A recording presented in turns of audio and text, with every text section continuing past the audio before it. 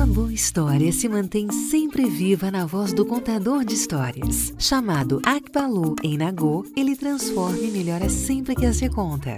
A coleção Akbalu está de volta. Melhorada e adaptada à base nacional comum curricular, a Akbalu mantém seu foco em formar mais que um aluno, um cidadão. Na hora de contar uma história, vale tudo para torná-la mais interessante. A coleção Akbalu fala diretamente com os alunos de hoje, nativos digitais. Ela é cheia de atividades envolventes e lúdicas que acompanham o aluno dentro e fora da sala de aula ao longo do seu percurso de aprendizagem. Com atividades de produção, pesquisa e incentivos à reflexão, a Akbalu ajuda o aluno a criar e aprofundar conceitos, promovendo a sistematização do conhecimento. A Akbalu busca formar cidadãos críticos, éticos e atuantes na sociedade. Por isso, propõe ao aluno observar e transformar o ambiente em que vive através de propostas de intervenção social. Atendendo ao eixo de literatura da BNCC, a Akbalu contém o projeto Catindum, que consolida e amplia o conteúdo de cada volume com indicações de leitura relacionada ao tema. Através da neurociência, a coleção promove a autonomia do aluno na hora do estudo, aumentando sua consciência em relação ao seu processo de aprendizagem. A educação mudou e a editora do Brasil quer contar essa nova história com você. Por isso,